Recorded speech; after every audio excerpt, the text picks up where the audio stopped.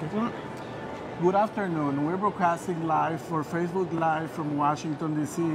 And this afternoon, we're going to have a conversation with Dr. Eugene McCray, who's the director of the Division of HIV/AIDS Prevention at the CDC. It's great seeing you again and having the opportunity to talk to you after many months uh, away uh, from the division. My name is Angel Ortiz Ricard, and I'm a senior public health advisor uh, stationed at the Puerto Rico Department of Health, working for the Division of HIV/AIDS Prevention. And we have a couple of questions for Dr. McCray, but do you want to say something before we start questions? Well, just that um, it's really a great opportunity for me to be here. Um, I've been in my position now for approximately two years, and this is my first opportunity to attend um, a, a, an HIV um, care and treatment conference. That's great. And we are on the second day of the conference. Uh, this is the 2016 National Ryan White Conference on HIV Care and Treatment. And I would like to know what are your impressions about the conference so far? Mm -hmm. Well, let me just first say how excited I am to be here. Um, you know, I, uh, my understanding is that the, this is the first conference um, after 14 years, after four years, and there are over 2,400 participants. And what was exciting for me was the opening plenary that um, last night, where we, well, yesterday afternoon, where we had the opportunity to hear from really several leaders in HIV/AIDS from the department. Um, and one of the things that was stressed as part of the opening plenary was the really um, accomplishments that have occurred as a result of Ryan White in terms of care outcome for people living with HIV and AIDS. But clearly, clearly articulated during that plenary is the need for us to celebrate the successes that we have, but the opportunity to do a lot more and the need to do a lot more because there are significant disparities that exist in care, in terms of care outcome for people living with HIV/AIDS, and some of the things that um, I've been seeing this morning and hearing today um, as part of the conference are really stressing and talking about some of the innovative approaches that people are using to one identify um, reasons for poor outcomes for various populations along the continuum, but also um, um, demonstration projects and other opportunities to address those barriers, and the, really the great collaborations that are occurring across agencies, um, in, with the community, with academic partners and others to address these disparities that we're seeing in care outcomes. I'm talking about healthcare outcomes for people living with HIV.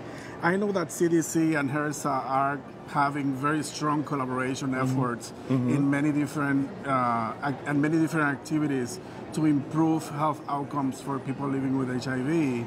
Uh, are there any presentations here from CDC that show or demonstrate that collaboration and those efforts and how they are being successfully implemented around the country. Right. So yeah, and there are a number of things, but I will, let me just say a couple of things about some of the disparities that we're talking about. Uh, clearly articulated in the opening plenary yesterday was the fact that we see we are seeing significant disparities um, in terms of HIV care outcome for young people, um, youth, um, people between the ages, people 24 years and younger. Um, they are, are less than 50 percent are, are, are, virally suppressed, meaning that their virus is at a, lower, at a very low level, which keeps them healthy and prevent them from transmitting the disease to other. The other, there are several other groups where there are significant disparities, and, and those include men who have sex with men, but particularly young men who have sex with men. And some of the collaborations that you will be hearing about and seeing at this conference are collaborations that are addressing those disparities. And one that I want to mention that is a really innovative collaboration between CDC, um, HRSA, the HIV/AIDS Bureau at HRSA, and the National Institutes of Health is a collaboration that is designed to enhance outcomes along the care continuum for youth living with HIV. And what this is is a collaboration between the CDC funded health departments, the HRSA funded um, Ryan White Care clinics, and um, the NIH um, Adolescent Clinical Trials Network has a set of clinics where they're doing work, and they really focus on increasing linkage of these young people who are newly diagnosed with HIV to care, getting them into effective care and, and getting them virally suppressed as soon as possible. It involves using um, um, community workers to, to actually, community workers and clinic workers to actually help educate these young people and, and really um, the, edu- the workers are trained on culturally appropriate um, uh, approaches to really engaging these young people to make them accept treatment. And, and actually, um, that, that workshop is occurring now as we're speaking, and I'm not going to reveal the results, um, but, but they're, they're, they're, actually having great results um, uh, in that study. And we're hoping that um, this is a demonstration project that is being funded partly by the Secretary Minority AIDS Initiative Fund, which is um, uh, funded, which is managed out of um, Health and Human Services. But that funding has allowed this collaboration to really take place, and, and I think it's a great collaboration, and we're seeing great results, and it's something that we will be incorporating into our programs and hopefully expanding over time. Um, let me just sort of pause for a minute and just um, just say hello to those of you that are out there listening to us now. And it would be nice for us to know to hear from you and and, and so that we know where you're coming from, where you're calling in from, and acknowledge you. So again, I'm Dr. Eugene McCray from the Division of HIV/AIDS Prevention. And, and I'm Angel Ortiz Ricard. I'm a senior public health advisor at the Division of HIV/AIDS Prevention. So a, a, second collaboration that I wanted to highlight is uh, our partnership for care elaboration collaboration. This is a collaboration between um, primary health care and, uh, and, and, clinical care providers.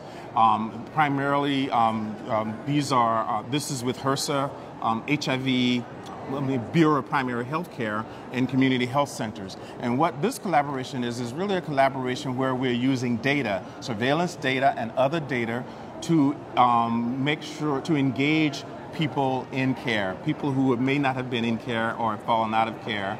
We want to make sure they get engaged in care, and we're working closely with the Bureau of Primary Health Care and their clinical care and their primary care clinics to do that work. Again, um, the outcomes that they're seeing have been very, um, very good.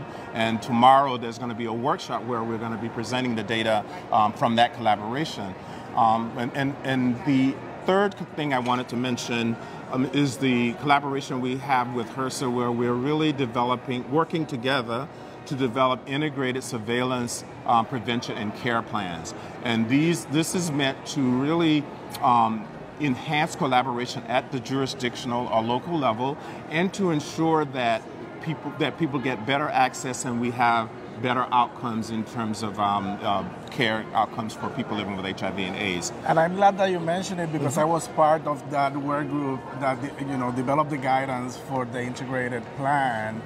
And proud to say that I, in collaboration with the Health Department of Puerto Rico, I led uh, the development of the plan uh, for the jurisdiction of Puerto Rico, mm-hmm. and we uh, are presenting right now the last or the final draft mm-hmm. of the plan it was a great process with a lot of community engagement and a lot of support from providers, community, and, and government.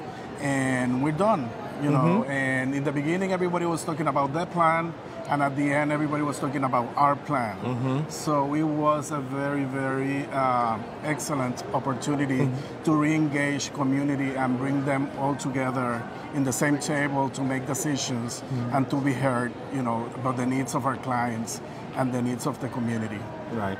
Yeah, and, I, and, and, and, and just to add on, this is a, the process has already happened in Puerto Rico. I know a number of jurisdictions, um, health jurisdictions, are in the process of developing these plans, and there are a number of posters here at the at the conference that where uh, people are talking about the process and presenting information on the process and the outcomes the, the, last thing I wanted to just mention is, um, you know, one of the things that was highlighted in the opening plenary were, was um, the many disparities that we're seeing um, in, in terms of outcomes. And there will be a number of posters presented tomorrow um, that really highlights outcomes in certain key populations. Um, one of them will be, there's one that's focused on um, young MSM, and there's another one that's actually focused on outcome among racial and ethnic groups, highlighting the fact that young um, black MSM and young Hispanic MSM have poor outcomes.